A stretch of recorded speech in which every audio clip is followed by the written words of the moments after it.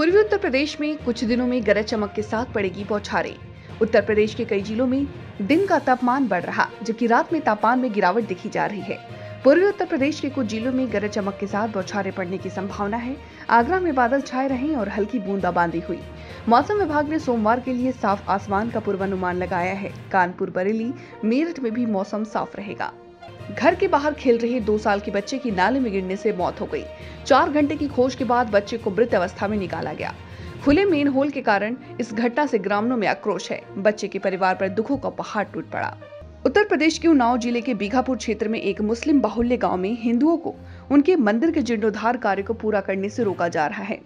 इस घटना का वीडियो सोशल मीडिया पर वायरल होने के बाद प्रशासन हरकत में आया। पुलिस ने शांति व्यवस्था बनाए रखने के लिए दोनों पक्षों के कुछ लोगों को पाबंद किया है।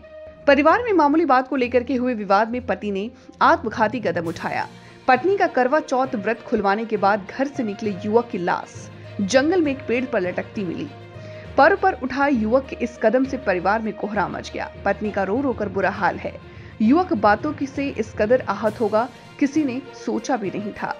लखनऊ में डेंगू के मामले बढ़ते जा रहे हैं। पिछले 24 घंटे में चौसठ नए मामले डेंगू से पीड़ित पाए गए। आपको बता दें कि लखनऊ में अब तक चौदह सौ बानवे डेंगू के केस मिल चुके हैं। इसके साथ ही चिकनगुनिया के मामले भी मिलने शुरू हो गए।